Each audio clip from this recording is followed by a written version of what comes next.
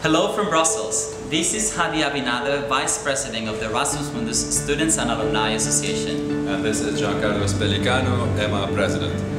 And we would like to wish you, our 7,000 members and friends around the world, a very happy holiday and a happy new year.